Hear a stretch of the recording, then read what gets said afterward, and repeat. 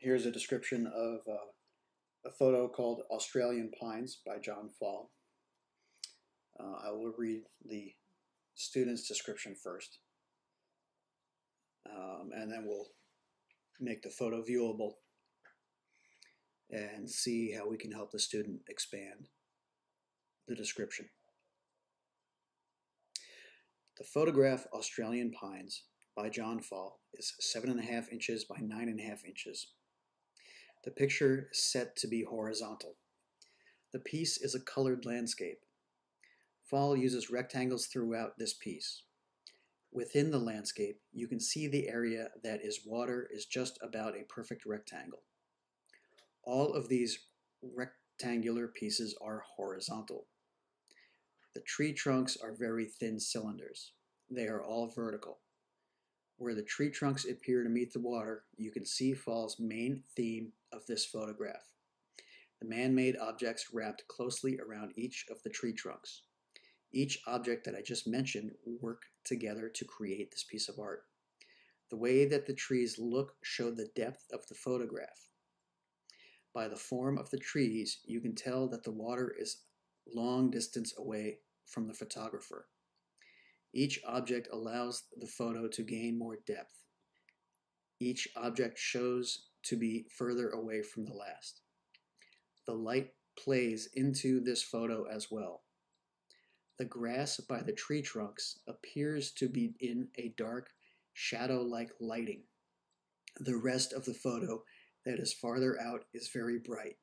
It does not appear to be direct sunlight, but rather a brighter value of light than shown from the grass.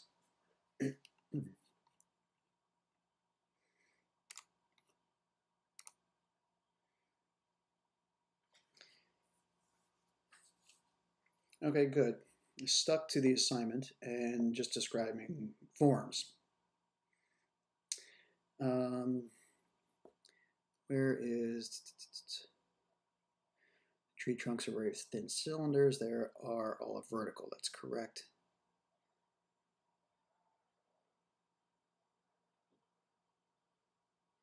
By the form of the trees, you can tell that the water is long distance away from the photographer. Okay, uh, what we need to do is describe the form. So which form? A form can be round, it can be tall, it can be small, it can be a different shape, it can be wide, it can be thin. So what form is telling us that? I think what the student is looking for, what form the student is looking for is how tall these trees are. versus how tall the body of water appears to be. Okay?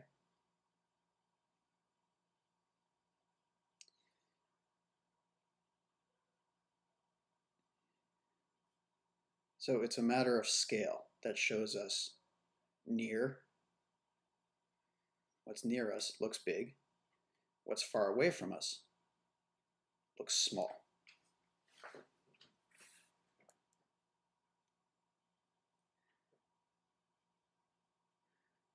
All the rec here. There's a quote, uh, all of these rectangular pieces are horizontal. Uh, students talking about within the landscape, you can see that the area that is water is just about a perfect rectangle. That's true.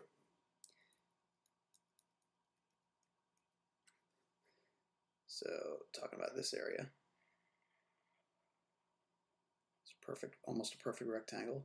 Much better than I can draw with the tablet all of these rectangular, rectangular pieces are horizontal. Okay. Well, they appear horizontal because it feels like they're behind the trees, right? There's this overlap with the trees.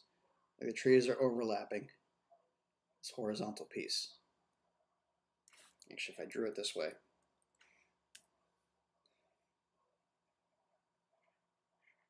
So you have this horizon thin horizontal strip of water. And these thin vertical trees.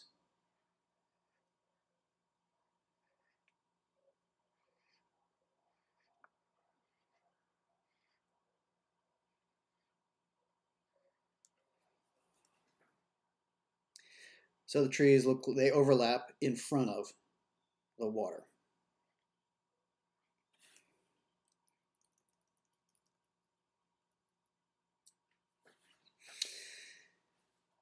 Now, a lot of the description centered around all the action that's going on here. And it does seem to be the focal point. So you should mention where the focal point is located on the lower half of the picture.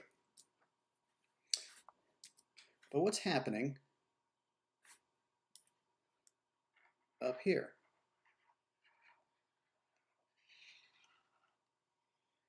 If all this stuff, and that's a lot of the picture, same with down here.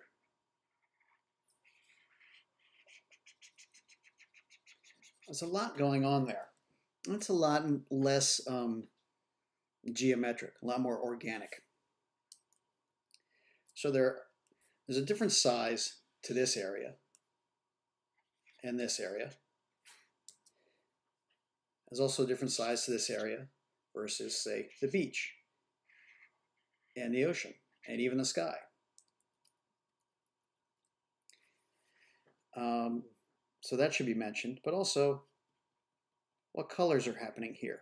What textures are happening here? Actually, what, yeah, what colors and textures? It's more texture, similar texture. And what's the textural difference between the sky, the ocean, and the leaves of the trees?